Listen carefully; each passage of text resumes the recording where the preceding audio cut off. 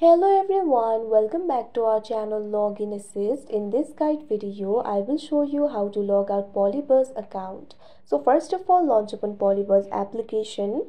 You can see over here PolyBuzz application has been opened. If you want to log out of your account, what you have to do is tap on the account icon that you can see at the bottom right corner of your screen. Now you can see over here you'll be led to this kind of interface. In order to log out of your account you'll have to go to the settings. For that tap on the gear icon that you can see at the top right corner of your screen. Now you'll be able to access the settings. You'll be able to find several settings options over here. At bottom you'll be able to find the option for logout. Simply tap on it. Now this kind of pop-up will appear. Tap on the option log out. Now you can see over here you've been logged out of your account. So that is how you log out PolyBuzz account. I hope you found this video helpful. Thank you for watching. Make sure to like, share and subscribe to our channel.